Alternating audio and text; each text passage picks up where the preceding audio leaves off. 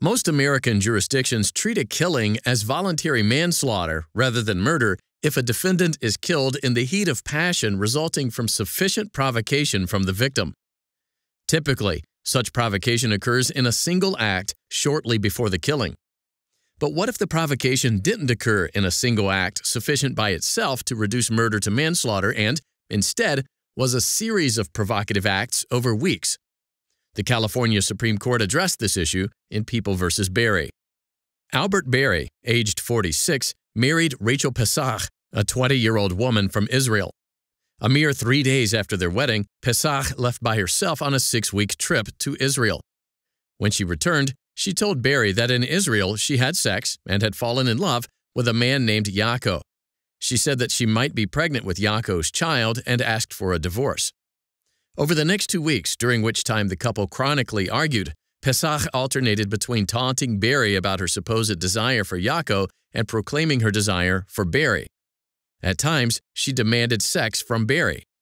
Their verbal arguments escalated to mutual physical violence. Despite the violence and Pessah's extreme fickleness, they continued to live together.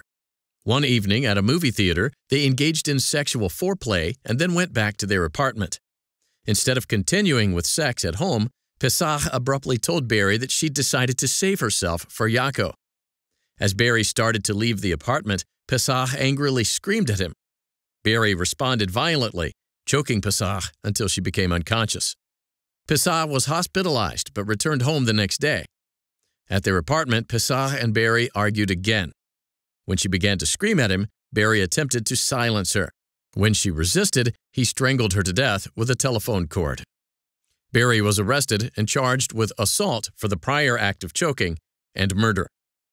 At his jury trial, both Berry and a defense psychiatrist testified that Pessah was suicidal and intentionally provoked Berry into an uncontrollable rage.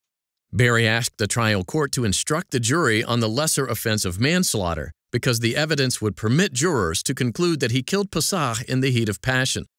The court refused to submit the jury instruction, and the jury convicted Berry of murder and assault. Berry appealed to the California Supreme Court.